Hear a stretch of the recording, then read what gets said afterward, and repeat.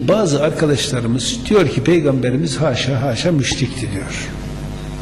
Yani kere şu şunu çok iyi aklımızda tutalım. İnsanlar mutlaka doğruyu bilir, doğruyu inanır, ondan sonra yoldan çıkarlar. Peki delili ne? Ali İmran 106. ayet. Diyor ki orada Allahü Teala يَوْمَ تَبْيَضُّ وُجُوهٌ وَتَسْفَدُّ وُجُوهٌ O gün yani kıyamet günü bazı yüzler kara bazı yüzler ak olur. فَاَمَّا الَّذ۪ينَ اسْوَدَّتْ وُجُوهُهُمْ Yüzleri kara olanlara şöyle denir. اَكَفَرْتُمْ بَعْدَ اِيمَانِكُمْ İmana geldikten sonra kafir mi oldunuz? Demek hepsi doğruyu bulmuş.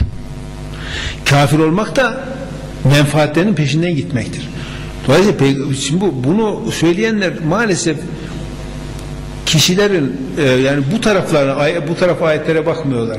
Efendim işte e, ma, şeyde e, ve vecedeke zallen fehedad. Tamam kardeşim. Yakup Aleyhisselam Allah'ın peygamberi için bile Allah'ın peygamberi olduğu halde ona ne dediler? İnneke lefî dalâlikel kadim dediler. Yani bu dalalet kelimesi her zaman aynı manada kullanılmaz ki yerine göre.